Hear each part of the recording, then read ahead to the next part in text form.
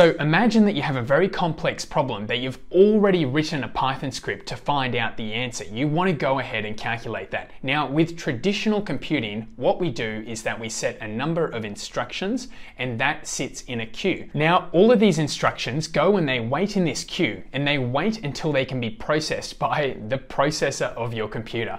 So really this is limited by one thing, speed of calculation, and this is measured as a frequency. That's why on the Raspberry Pis, on the cluster that we built here, the uh, non-overclocked uh, speed of those processors is 1.5 gigahertz. Now, really, this is a thermal limit and we can overclock this to 2.1. So this is the traditional computing approach. We have, again, that queue, we're waiting for it to be processed and at the end we have the output which is our processed unit. Now parallel computing works a little bit differently. Imagine now, so we still have that queue of tasks that we want to execute, but we can split up those processes across, let's say, the three nodes of our Raspberry Pi cluster that we built last week. So what can we do with that? Well, essentially, each of those processing nodes has the same limit in terms of processing capacity, that 1.5 gigahertz uh, processing speed. However, now we've just divided those six tasks up into two per processing unit.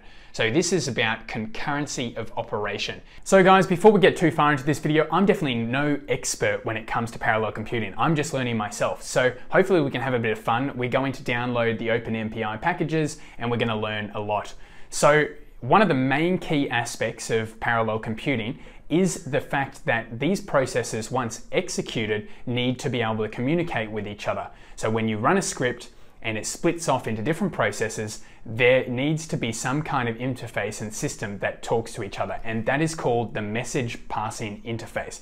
Now, that is really the functionality of what you're downloading onto your computer when you download OpenMPI. So today, guys, we're gonna be looking at how we can actually install OpenMPI on our little mini Raspberry Pi cluster, we're going to install Python the smarter way with one installation so we can manage dependencies in a nice uniform way. And we're also going to be using this OpenMPI capability across the nodes so we can actually interface with Python scripts and get them running across the nodes in a concurrent way. So without further ado, let's get into the video. So guys, we're going to be diving straight into the third part of Garrett Mills's building a Raspberry Pi cluster series. So the first part is actually just installing the OpenMPI software. Open source, very easy to do. So the first part, you need to um, jump into your master node. So I've, I've gone into mine and we need to actually operate as the root user. For that, I just go sudo dash s will be as root and then we need to download these dependencies. That'll take a while. Now I could just copy that because I only have three nodes, just the same that Garrett Mills did, but obviously if you have more, you will need to add that number there. Now that's as easy as it is. As soon as this finishes downloading, we'll have OpenMPI. Now the first program that we're just going to do to test is just to make this C program and we're just going to do the traditional hello world.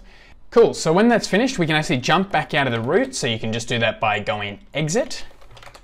We'll clear that from the screen and let's make a new file. So I'll copy that and we will go back here we will CD into our cluster. So remember, this is the network file storage that's actually common across the entire cluster that we set up. So we have to go into here. Now let's create that file. So nano hello mpi.c. We're in the file. We will right click and save it down. Cool, so once we've made that file, all we need to do now is compile it. So the way we're gonna compile it, we've just installed OpenMPI on all the nodes. So what we're gonna do is actually um, make a shell of one of our nodes. So we can get into one of our nodes by going srun dash dash pty bash. And this has directed me to node one. So after that, we can just cd into our shared storage and you should be able to see that hello mpi.c file. Excellent. Now we just need to run mpicc hello mpi.c. This is going to compile it for us. Wait for that, go list, and you can see that our new file is a.out right there. Now we can exit this shell terminal and go back to our master node with the exit. Cool, so once that, that has been created, we need to create a new submission um, script. So this is going to be able to run that compiled a.out file. So let's copy this and we'll create a new sub underscore MPI file. And we're going to do this in our cluster shared storage again. So let's go nano sub mpi.sh and we'll save that down. Remember that the cd slurm submit directory, that is just telling it we want that uh, output to actually be where we submit this or execute this bash file. So we'll exit, save it down. Okay, so now that we've got our compiled script and we've got our bash script to run it, let's run that bash script. So we're gonna go into cluster fs and all we're gonna do is use sbatch. We'll call a number of nodes, nodes equal three. We'll call, we'll define a number of tasks to run per node, and that's going to be equal to four, the maximum. And we'll call that, that file, and we'll submit the job. Now, I think that'll run very quickly, so we can check the file there. So we'll nano into that Slurm file, and we should see our nodes, not necessarily in any order there. So yeah, we've printed out hello world. Great, our first compiled script and we've run this uh, using OpenMPI. That's fantastic. So now let's get into the second part of this tutorial, which is going to be how do we install Python the better way. Now, previously we'd opened all the uh, different nodes and we'd just installed, you'd in sudo apt-get install Python 3 uh, across all the nodes. How can we do this better? How can we con control our dependencies that we're actually uh, keeping version control or some level of version control on the cluster? Well, the better way is to actually compile from source. And we're going to compile from source and um, place it within our cluster fs file. Now that can be commonly shared across all the clusters, so then therefore the entire cluster would have access to the same, same source. So let's jump in and let's do that. So we want to make sure that we're only installing on one node. I'm going to install Python in this cluster um, file share storage on the master node. So let's make sure we have all of these dependencies. So for downloading the latest version of Python from source, what you need to do is go to python.org, downloads, uh, click on the Python 3.10.0 or whatever the latest version for you at the time is, scroll down to the bottom and you're going to see this gzipped source tarball. Just right click on that and copy link to address. Then we're going to go back to our terminal and we're going to start typing in these commands. So we've cd'd into cluster, um, we're going to make dir build, and then we're going to cd into build. So let's go wget, and we're just going to copy that there. Bang, and now it's going to download that file. Once it's downloaded, all we need to do is run these commands here. tar x, v, z, f, and then we'll just call that Python 3.10.0 tgz uh, file. Let that run as it uncompiles, and then we'll cd Python 3.1, well, 3.10.0, enter. Now we actually have to configure Python. So we're going to configure, make, and then make install. Okay, so the first step in building the Python is to configure the build of the environment. This is done with the dot configure command. Running itself will configure Python and to install to the default directory. However, we don't want this because we're going to pass it as a custom flag. This will tell Python to install uh, to a folder on the shared storage. Buckle up because this may take a while. So what we're going to do, we're going to make this user directory. So if we go out of there, we'll make that directory user and we're going to cd back into our cluster build Python 3.10. So essentially all we want to do is configure this Python file. So we just go dot slash configure. However, we want to make sure that we have this prefix set to that user directory that we made. So we'll just let that build. Oh, well, sorry, we'll just let that configure.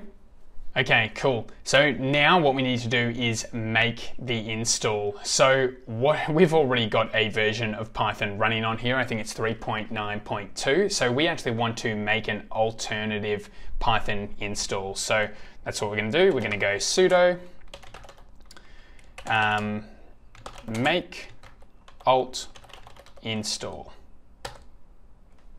And we're just going to let that run. So now that that's downloaded, what we're going to do is we're going to check if it works. So we're going to do srun nodes equal to 3 and we're going to call the Python file. Now the Python file for me is located in the cluster fs user bin and the Python version. Now you go dash c and I'm just going to print hello. And you can see there that we get hellos back. So excellent, it's installed correctly. So now just to reiterate, we've installed the OpenMPI software. Remember, that's a software that does this interface between the different processes um, that's required for parallel computing. Now we've installed Python and we've got a clean batch that we can now refer to for resource management and that's only on our master node. Now for demo purposes, we're actually going to demonstrate what um, this parallel computing can do. Now, there's a fantastic library um, called MPI for Pi. Now, I've got the documentation here, but essentially it's a really cool tool where we can harness Open MPI um, easily using Python. So really cool functionality. Now we're going to use this library and we're going to use the exact example that Garrett Mills has done in his tutorial here. So if you go to um, this link here, mpi4py, you can see all the demo scripts that he has. So he's got Computing Pi, which we're going to do, um, Mandelbrot, and uh, all these other things, reduction, spawning, threads, and that's all examples of how you can use um, this specific module to use OpenMPI. So first thing we're going to do, we're going to make a directory called calcpy. We're going to cd into that. Now I'm actually not going to be using the Python installation that we just um, used as an alternative on this master node. Now you can use that, but um, I think there's going to be some conflicts with my pip3 file. So uh, to avoid that, I'm going to be using my previous version, but feel free to follow the instructions exactly as Garrett Mills has done here. Now, all I need to do is call pip3 and I'm going to install mpy for pi and we'll let that run. So now within the calc.py file, what we're going to do, we're going to create this calculate.py file and we're going to copy the code which is coming from the demo master um, from pi for pi GitHub, but we'll copy it here from Garrett Mills's um, blog and we'll save that down. So once that's done, uh, we've created the Pi file and now we need to create a bash file to run this. So let's go nano sub calc pi and we'll be calculating pi, approximating pi, nano We'll submit this. And instead of six tasks, let's run the maximum, which I think is 12. Cool, and we'll make sure that we are just using our Python 3 environment that we set up previously. We'll save that.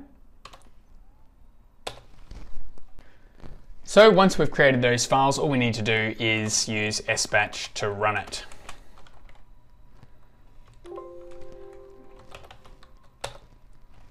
Run. Excellent. Let's check SQ.